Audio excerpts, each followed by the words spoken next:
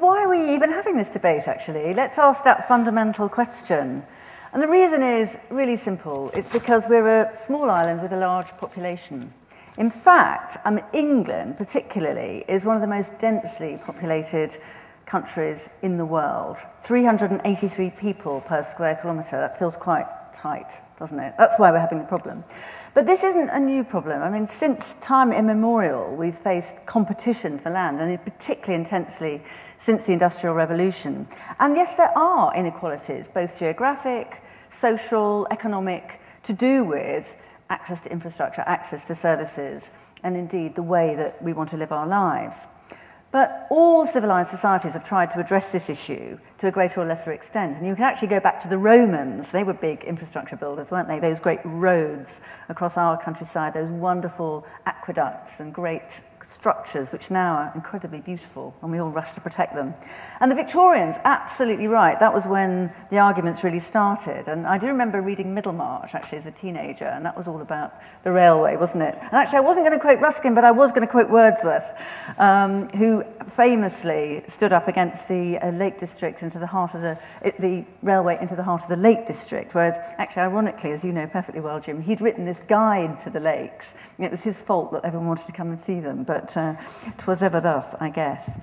But actually, it wasn't until the 20th century that we really uh, had to get a grip on this and realize that um, there had to be a better way than isolated projects storming through the countryside, creating uh, anxiety. And actually, if you look back, I think it was that 1945, that post-war government that really tried to join things up. And I think, actually, looking back, we talk about joined up government all the time, don't we now? I don't think we've succeeded, by the way, in joined up government. But they really tried in 1945. If you think about it, that great raft of legislation establishing the NHS, establishing uh, that right to um, education for all, our planning system, Abercrombie's plan for London, new towns, the national grid. It was the first time really tried to think holistically and strategically right across the piece. And in fact, famously, with the planning legislation, actually nationalised development rights. Well, that didn't last long, did it? Um, nationalisation was quickly very unacceptable politically, um, and that sense of market forces were the way to do these things. And people genuinely found that idea of joined up government uh, very hard to deliver. But I think those are some of the reasons why we're facing the kind of problems today that, in a way, Jim, you were describing. Because we do have an aging infrastructure. We have seen you know, successive attempts, not very clever attempts, to get major projects through. I mean, no one is denying that. But actually, what I think we have got is the wrong answer.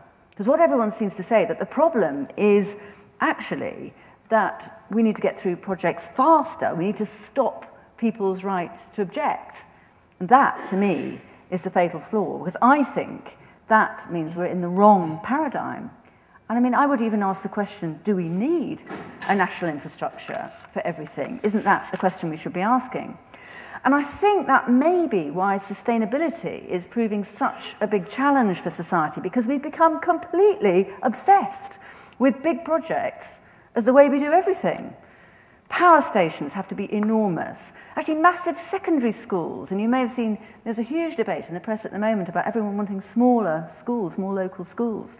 Hospitals, hospital provision is driven by the need for specialisms to treat acute illnesses, which creates a need for critical mass and everything brought together in huge, great hospitals, rather than a focus on local services and preventative health. The loss of cottage hospitals around the country means you have to drive 40 miles to give birth, which is not um, actually a very technically complicated thing to do most of the time. Um, and there are examples from other countries who have tackled these issues and tried to do things differently. And just let me give an example from Germany, who've gone local in terms of energy supply. They've gone from 6.3% of renewables in 2000 to 16% today, and they're heading for 30. Now, some of that, I will absolutely um, agree, is big renewables. But actually, an enormous amount of it is household scale renewables. And the way they've done that is that they've given an incentive to people through feed-in tariffs that if you generate, if your house becomes a little power station, you generate surplus electricity from renewable sources, they've guaranteed that you can sell that into the grid for 20 years at a fixed price. I mean, that's a huge incentive.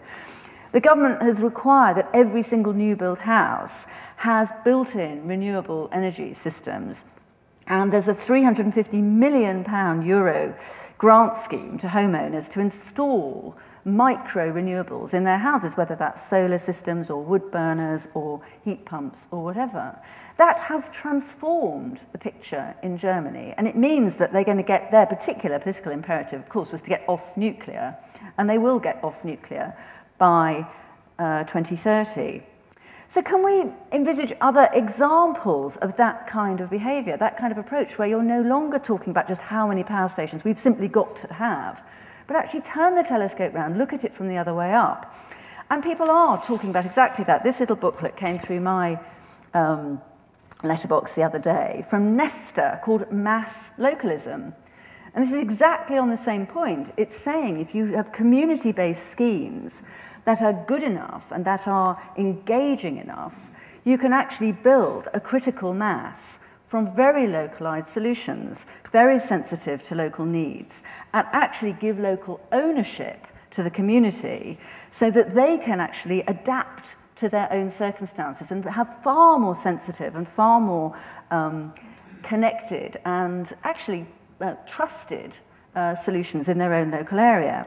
Now, I'm not denying that we need some national infrastructure projects. I would be mad to do that. Of course there are. And rail, of course, is one of those things you can't just leave to local communities. I completely accept that.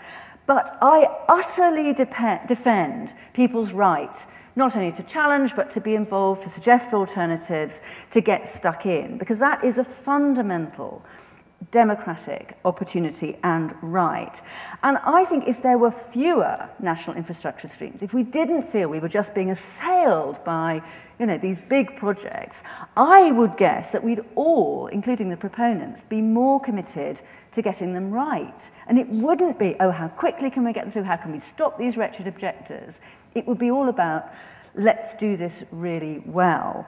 And actually, I do remember those Channel Tunnel Rail Link days very, very well because I was in CPRE and there were objections to it. But I also remember Sandy Bruce Lockhart, the late lamented Sandy, saying, I want a rail link through Kent. It will be good for the economy. It will be good for Kent. I will get it right. And goodness, you know, poring over maps, community meetings all around the county, never stopped talking to people, never stopped involving people. It absolutely was a grassroots, sort of bottom-up way of trying to find the best route, and actually it's not bad. But it didn't come from a top-down process. It came from real engagement and real understanding. But I also remember some horrible moments at my time at CPRE. I remember the A14 being put in as effectively a new motorway right across the country. And do you know what? That decision was based on the idea that it would save three minutes of lorry time as against the alternative. I remember thinking, three minutes isn't long enough to stop and have a pee, actually. What are we doing? I mean, it really felt so top down, so wrong. And actually, you know, this idea, this mass localism, this idea of building capability from within is a much more sustainable route. So my question tonight is, can we turn the telescope round? Can we give power to local people to find their own solutions, to articulate the contribution they can make? And of course, the government's input is essential, but it's different. It is not, as we've just seen in relation to the Infrastructure Planning Commission, a great new list of power stations that obviously have got to be built.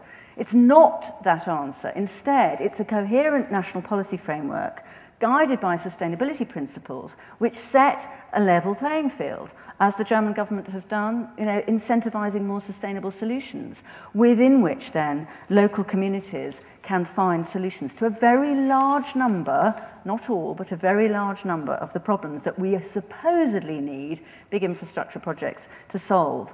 And I think we might be surprised by just how clever we can be. Energy is a really good example where we have got obsessed with big projects. For example, the National Trust, and I'm not going to bang on about the National Trust, but we've just made a commitment to reduce our dependence on fossil fuel by 50% by 2020, which is faster than any government target, all by micro renewables, all with a complete win-win on aesthetic, on wider environmental and on cultural heritage grounds. It can be done. Now, of course, there are different needs for cities and urban areas as opposed to rural areas. There are different challenges.